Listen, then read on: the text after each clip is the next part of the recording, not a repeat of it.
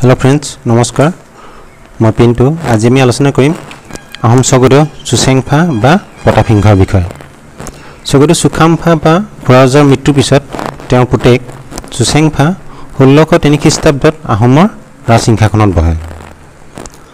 চুচেংফা বা প্ৰতাপসিংহ নিঃসন্দেহে ছশ আহোম ৰাজত্বৰ এক অন্যতম শ্ৰেষ্ঠ ৰজা বুলি আমি ক'ব পাৰোঁ। ষোল্লশ তিনি খ্ৰীষ্টাব্দৰ পৰা ষোল্লশ একচল্লিছ খ্ৰীষ্টাব্দলৈকে আঠত্ৰিছ বছৰীয়া প্ৰতাপসিংহৰ ৰাজত্বকাল বৰ গুৰুত্বপূৰ্ণ এইজন ৰজাই কেৱল যুদ্ধ বিগ্ৰহতে যে লিপ্ত আছিল তেনে নহয়। তেওঁ নিজ ৰাজ্যৰ প্ৰশাসনিক দিশৰ উন্নতিৰ বাবেও যথেষ্ট চেষ্টা চলাইছিল।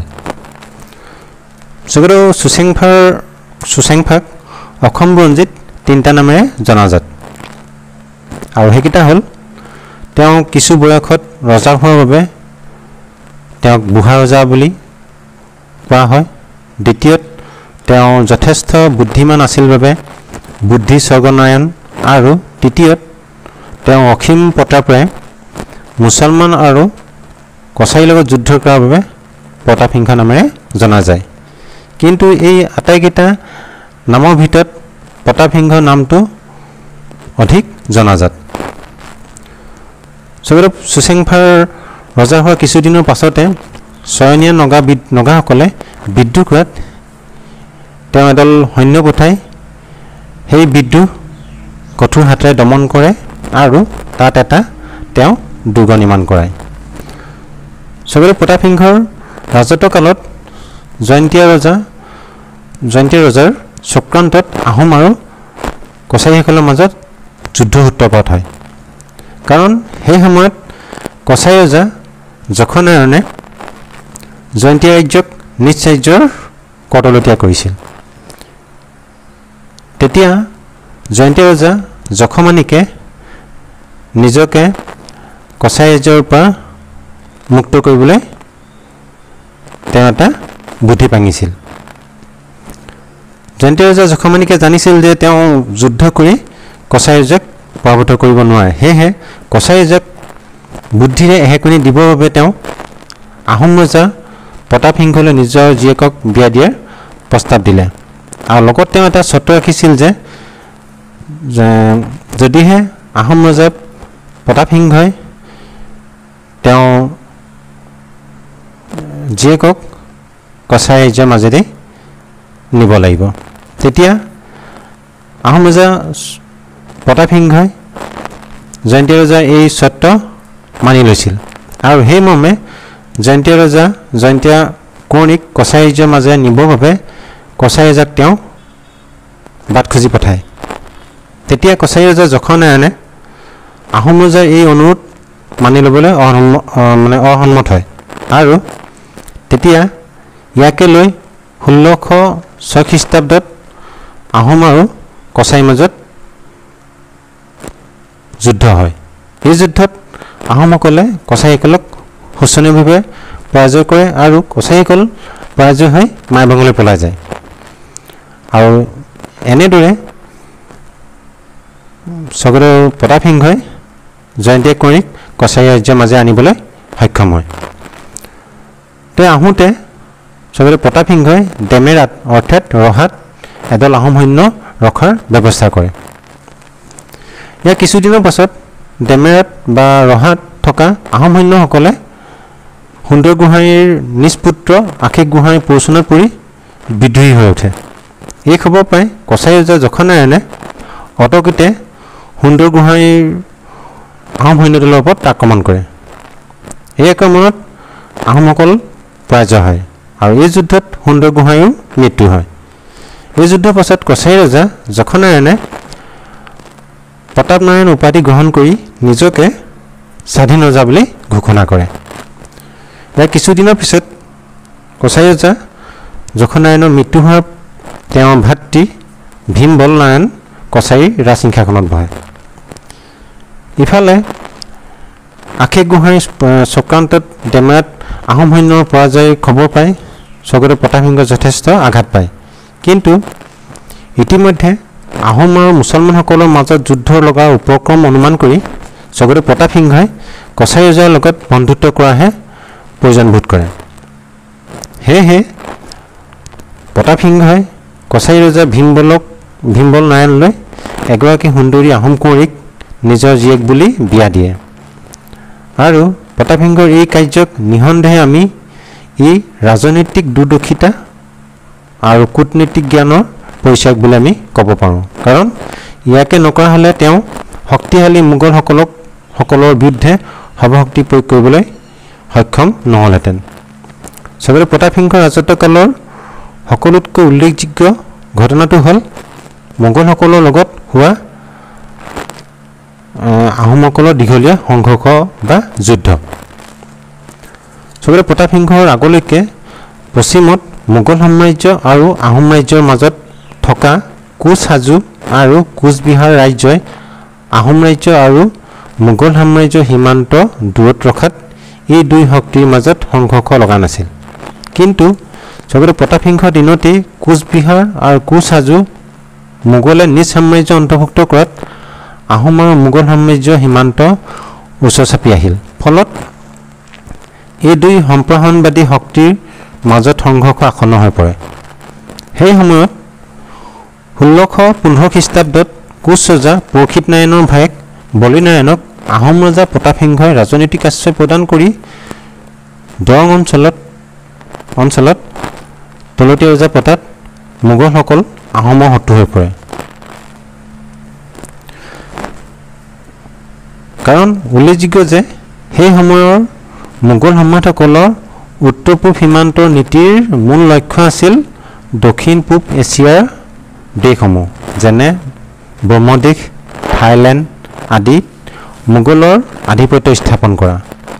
তাৰ কাৰণে মোগলসকলে এই আঁচনিক বাস্তৱত ৰূপায়িত কৰাৰ বাবে আহোমক আহোম ৰাজ্যক নিজ ৰাজ্যৰ অধীনলৈ অনাৰ বিশেষ প্ৰয়োজনীয়তা উপলব্ধি কৰে। ষোল্লশ ষোল্ল খ্ৰীষ্টাব্দত আহোম আৰু মোগলৰ মাজত সংঘৰ্ষ আৰম্ভ হয়। এই সংঘৰ্ষত সংঘৰ্ষৰ তৎকালীন কাৰণ হ'ল কলিয়াবৰত থকা আহোম সৈন্যই দুজন মুছলমান বেপাৰীক চোৱাংচোৱা বুলি সন্দেহ কৰি হত্যা কৰে আৰু লগতে তেওঁলোকৰ সা সম্পত্তিও বাজেয়াপ্ত কৰে। এই খবৰ পাই বংগৰ মোগল শাসন কৰোঁতা শ্বেখ কৰিম খানে ছৈয়দ হাকিম আৰু ছৈয়দ আবু বক্কৰ আৰু সত্ৰাজিত নামৰ ঢাকা অঞ্চলৰ এজন জমিদাৰৰ পুত্ৰৰ নেতৃত্বত দহ হেজাৰ সৈন্য তিনিশখন নাও আহোম সৈন্য আহোম ৰাজ্য আক্ৰমণ কৰিবলৈ প্ৰেৰণ কৰে। উল্লেখযোগ্য যে এই মোগল সৈন্য দলৰ লগত সুন্দৰ গোহাঁইৰ পুত্ৰ বিশ্বাসঘাতক আশেষ গোহাঁইও জড়িত আছিল। ষোল্লশ ষোল্ল খ্ৰীষ্টাব্দত বাৰিষা কালত আহোমৰ লগত কাজলী মুখত প্ৰথম আহোম আৰু মোগলৰ যুদ্ধ আৰম্ভ হয়। এই সংঘৰ্ষ বা যুদ্ধ এৰাধৰাকৈ কমেও ষোল্লশ ঊনচল্লিছ খ্ৰীষ্টাব্দ পৰ্যন্ত চলে। এই আহোম আৰু মোগলৰ মাজত হোৱা যুদ্ধক আমি দুটা ভাগত বিভক্ত কৰিব পাৰোঁ। এটাক ষোল্লশ ষোল্ল খ্ৰীষ্টাব্দৰ পৰা ষোল্লশ বিছ খ্ৰীষ্টাব্দলৈকে আৰু আনটোক ষোল্লশ পঁয়ত্ৰিছ খ্ৰীষ্টাব্দৰ পৰা ষোল্লশ ঊনচল্লিছ খ্ৰীষ্টাব্দলৈকে। প্ৰথম পৰ্যায়ত অৰ্থাৎ ষোল্লশ ষোল্ল পৰা ষোল্লশ বিছ খ্ৰীষ্টাব্দৰ ভিতৰত হোৱা ভৰলীমুখৰ যুদ্ধত আহোম সৈন্য বাহিনীয়ে উম, জ- জয়লাভ কৰি মোগলক খেদি পঠিয়াবলৈ সক্ষম হয়। আহোমে মোগলৰ হাতৰ পৰা হাতী ঘোঁৰা যুদ্ধৰ জাহাজ বন্দুক যুদ্ধৰ অন্যান্য আহিলা পাতি লগতে বহুতো ৰচদ পাতিও সংগ্ৰহ কৰিবলৈ সক্ষম হয়। এই জয়লাভত উৎফুল্লিত হৈ চবতে প্ৰতাপসিংহই ৰিখুৱান উৎসৱ উদযাপন কৰে। ৰিখুৱান উৎসৱ হৈছে এভাগ পূজা। ৰজাই এই পূজাভাগ যুদ্ধৰ আগমুহূৰ্তত বা যুদ্ধৰ পিছত এই পূজাভাগ আয়োজন কৰে যাতে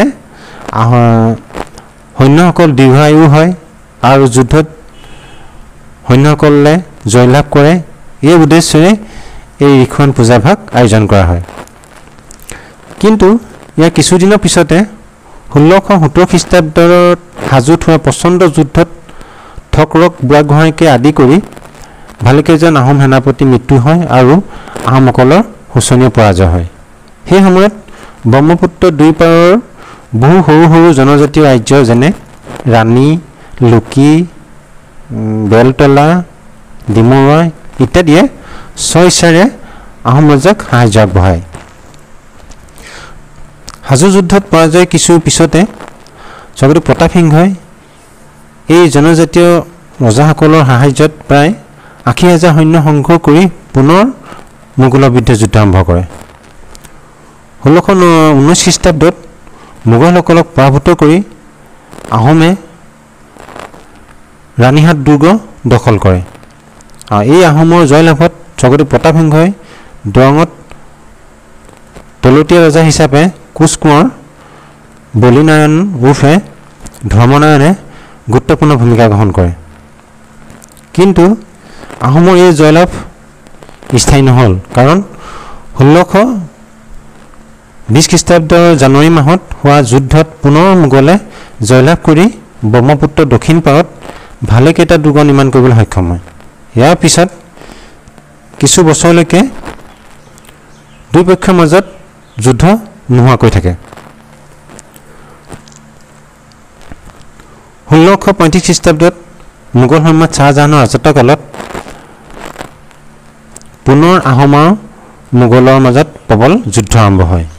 ইয়াৰ তৎকালীন কাৰণটো আছিল হৰিকেশ নামৰ মোগল ৰাজহ বিষয়া এজনে পাঁচশ টকা লৈ আহোম ৰাজ্যলৈ পলাই গৈ দৰঙত আশ্ৰয় লয়। তেতিয়া মোগলৰ শাসনকৰ্তা বংগৰ নবাব নবাবে হৰিকেশক ধৰি নবাবৰ ওচৰলৈ পঠাই দিবৰ বাবে স্বৰ্গদেৱ প্ৰতাপ সিংহলৈ অনুৰোধ জনাই পঠোৱাত স্বৰ্গদেৱ প্ৰতাপ সিংহই শৰণাগত বুলি কৈ তেওঁক এৰি দিবলৈ অসন্মত হয়। ইয়াতে বংগ নবাব খগহস্ত হৈ ষোল্লশ পঁয়ত্ৰিছ খ্ৰীষ্টাব্দত হৰিকেশক ধৰি নিবলৈ এদল মোগল সৈন্য পঠায়। আৰু সেই সৈন্যদলক আহোমে ভৰলী নদীৰ মুখত বাধা দিয়ে আৰু দুই পক্ষৰ মাজত তুমুল যুদ্ধ হয়। যুদ্ধৰ প্ৰথম অৱস্থাত আৰু জনজাতীয় ৰজাসকলৰ সন্মিলিত বাহিনীয়ে বিশেষ সফলতা লাভ কৰি মোগলক পাণ্ডু শৰাইঘাট আগিয়াঠুটিৰ পৰা খেদি দি সাজু পোৱাই সাজু পোৱাইগৈ। কিন্তু ইয়াৰ কিছুদিনৰ পাছত পুনৰ মোগলসকলে যুদ্ধত জয়লাভ কৰি পাণ্ডু আগিয়াঠুটি আদি অঞ্চল পুনৰুদ্ধাৰ কৰাৰ উপৰিও ষোল্লশ সাতত্ৰিছ খ্ৰীষ্টাব্দত কাজলী দুৰ্গও অধিকাৰ কৰে। অৱশ্যে ষোল্লশ আঠত্ৰিছ খ্ৰীষ্টাব্দ খ্ৰীষ্টাব্দৰ অক্টোবৰ মাহৰ পৰা পুনৰ আহোমসকলে যুদ্ধত সফলতা লাভ কৰিবলৈ ধৰে আৰু চমধৰা আৰু দুই শিলামণি দুইমণি শিলাত হোৱা যুদ্ধত মুছলমানসকল শোচনীয়ভাৱে পৰাজিত হয়। আৰু কাজলী দুৰ্গও পুনৰ আহোমসকলে অধিকাৰ কৰে। এনেদৰে ভালেকেইদিন একেৰাহে যুদ্ধ কৰি কৰি দুই ভাগৰি পৰাত অৱশেষত ষোল্লশ ঊনচল্লিছ খ্ৰীষ্টাব্দৰ ফেব্ৰুৱাৰী মাহত কলিয়াবত দুই পক্ষই সন্ধি কৰে। আৰু এই সন্ধিৰ চৰ্তমতে ব্ৰহ্মপুত্ৰৰ উত্তৰে বৰনদী দক্ষিণে অসুৰালি আহোম আৰু মোগল সাম্ৰাজ্যৰ মাজৰ সীমা নিৰ্ধাৰণ কৰা হয়। পৰৱৰ্তী প্ৰায় দুটা দশক এই সীমাক দুই পক্ষই সন্মান কৰি চলে। আনহাতে প্ৰতাপ সিংহৰ ৰাজত্বকালত মোগলৰ লগত আহোম সংঘৰ্ষৰ সুযোগ গ্ৰহণ কৰি ভৰলী আৰু সোৱণশিৰি নদীৰ মাজত থকা বাৰভূঞাসকলে আহোম ৰজাক কৰ দিয়া বন্ধ কৰে। তেতিয়া স্বৰ্গদেৱ প্ৰতাপ সিংহই ক্ৰোধিত হৈ এদল আহোম সৈন্য প্ৰেৰণ কৰি সেই ভূঞাসকলক নিষ্ঠুৰভাৱে দমন কৰে আৰু ভূঞাসকলৰ নেতা উদয় ভূঞাক হত্যা কৰে। ভূঞাসকলৰ একতা যাতে ভাঙিবৰ বাবে প্ৰতাপ সিংহই ভূঞাসকলক ব্ৰহ্মপুত্ৰৰ দক্ষিণ পাৰে অ'ত ত'ত সিঁচৰি থৈ বাস কৰিবলৈ আদেশ দিয়ে। সুদীৰ্ঘ চক্ৰবৰ্তী আহোম যুগত আহোম যুগৰ ইতিহাসত প্ৰতাপ সিংহৰ ৰাজত্বকালৰ এক বিশেষ গুৰুত্ব আছে। চবতে প্ৰতাপ সিংহই আহোম প্ৰশাসনৰ ব্যৱস্থাক প্ৰণালীবদ্ধ ৰূপ দিছিল। তেওঁক প্ৰশাসনিক কাৰ্যত মোমাই তামুলী বৰবৰুৱা নামৰ এজন বিষয়াই বিশেষভাৱে সহায় কৰিছিল। মোমাই মোমাই তামুলী বৰবৰুৱাৰ আচল নাম আছিল শুকুতি তেওঁ লুখুৰাখন খেলৰ মানুহ আছিল। তেওঁ এঘৰ বামুণৰ ঘৰত লগোৱা হৈ থাকোঁতে এখন তামোল বাৰী পাতিছিল। এদিন স্বৰ্গদেউ প্ৰতাপসিংহ সেইফালেদি যাওঁতে সেই ধুনীয়া তামোল বাৰীখন দেখি বামুণক সেই বিষয়ে সুধি মোমাইৰ বিষয়ে সকলো কথা জানি তেওঁক ৰাজকাৰেঙলৈ লৈ আনি তামোলি পাতে। কিন্তু নিজ পৰি পাৰদৰ্শিতাৰ জৰিয়তে মোমাই তামুলীয়ে দুপদ দুপে উন্নতি কৰি বৰবৰুৱা পদ লাভ কৰিবলৈ তেওঁ সক্ষম হয়। তেওঁ এজন প্ৰখৰ ৰাজনীতিজ্ঞ আৰু সুসংগঠক আছিল। স্বৰ্গদেৱ প্ৰতাপসিংহই প্ৰৱৰ্তন কৰা পাইক আৰু খেলপথাৰ প্ৰৱৰ্তনৰ খেলপথাৰ এইজন বিষয়েৰে তেওঁ এই সৃষ্টি আছিল। অসম ইতিহাসৰ মহাবীৰ লাচিত বৰফুকন এইজন বিশ্বক্ষণ ৰাজকৰ্মচাৰীৰে সুসন্তান আছিল। অসমীয়া সমাজখন কৃষিভিত্তিক বুলি প্ৰয়োজনীয়তা উপলব্ধি কৰি স্বৰ্গদেৱ প্ৰতাপসিংহই দেশত পাইক আৰু খেলপথাৰ প্ৰৱৰ্তন কৰে। দেশৰ পোন্ধৰ বছৰৰ পৰা সত্তৰ পঞ্চাছ বছৰৰ ভিতৰত সকলো প্ৰজাক পাইক বোলা হৈছিল। প্ৰতিজন পাইককে পাইকে বছৰত তিনি মাহকৈ ৰজা ঘৰত কাম কৰিব কাম কৰি দিব লাগিছিল। চাৰিজন পাইক লগাই একো একোটা গোট সৃষ্টি কৰা হৈছিল। কেইবাটাও গোট একেলগে হৈ তেওঁলোকে তেওঁলোকৰ নিৰ্দিষ্ট কাম কৰি কৰিব লগা হৈছিল। এই ডাঙৰ গোটবোৰক খেল বোলা হৈছিল। প্ৰতিজন পাইকৰ ওপৰত একোজনকৈ নিম্ন বৰ্গৰ বিষয়া নিয়োগ কৰা হৈছিল। বিছজন পাইকৰ বিপৰীতে এজন নিম্নবৰ্গৰ বিষয়া বাদ দিছিল আৰু সেইজনক বৰা বুলি কোৱা হৈছিল। আৰু এশজনৰ ওপৰৰ পাইকক মুৰব্বী মুৰব্বীজনক শইকীয়া বোলা হৈছিল আৰু হাজাৰজনৰ ওপৰত হাজৰিকা বা ৰাজখোৱা আৰু ছহেজাৰজনৰ ওপৰত এজন ফুকন নিয়োগ কৰা হৈছিল। প্ৰজাৰ নিৰাপত্তাৰ প্ৰতি লক্ষ্য ৰাখি স্বৰ্গদেউ প্ৰতাপসিংহই পাহাৰীয়া জনজাতি যেনে দফলা মিৰি নগা মিচিমি আৱৰ আদি উপদ্ৰৱৰ পৰা ৰাজ্যৰ দাঁতিকষীয়া অঞ্চলৰ জনগণক ৰক্ষা কৰিবৰ উদ্দেশ্যেৰে পচা পথাৰ প্ৰৱৰ্তন কৰিছিল। এই প্ৰথাৰ মতে পাহাৰীয়া জনজাতিসকলে আহোম ৰাজ্যৰ দাঁতিকাষৰীয়া কিছুমান নিৰ্দিষ্ট অঞ্চলৰ পৰা কৰ কাটল আৰু খাদ্যজাত সং- সামগ্ৰী তেওঁলোকে সংগ্ৰহ কৰিবলৈ আহোম ৰজাৰ পৰা অনুমতি পাইছিল। স্বৰ্গদেৱ প্ৰতাপসিংহই এই জনজাতীয় লোকসকলৰ লগত কটকী পঠাই তেওঁলোকৰ লগত সুসম্পৰ্ক স্থাপন কৰিছিল। আহোম ৰাজ্যৰ প্ৰশাসনৰ সুবিধাৰ বাবে স্বৰ্গদেৱ প্ৰতাপসিংহই বৰবৰুৱা আৰু বৰফুকন নামৰ দুটা উচ্চ পৰ্যায়ৰ পদ সৃষ্টি কৰিছিল। আৰু তেওঁলোকৰ দায়িত্ব আছিল কলিয়াবৰৰ পৰা পশ্চিম ৰাজ্যখণ্ডৰ দায়িত্ব বৰফুকনৰ হাতত অৰ্পণ কৰা হৈছিল। প্ৰথম বৰফুকনৰ পদবীটো লাভ কৰিছিল লাঙি পানী পানীহিয়া নামৰ এজন ব্যক্তিয়ে। আনহাতে কলিয়াবৰৰ পূব ৰাজ্যখণ্ডৰ দায়িত্ব দিয়া হৈছিল বৰবৰুৱাৰ হাতত। অৱশ্যে এই বৰবৰুৱা তিনিজন গোহাঁইৰ অধীনত থকা অঞ্চলসমূহৰ ওপৰত তেওঁৰ কোনো অধিকাৰ নাছিল।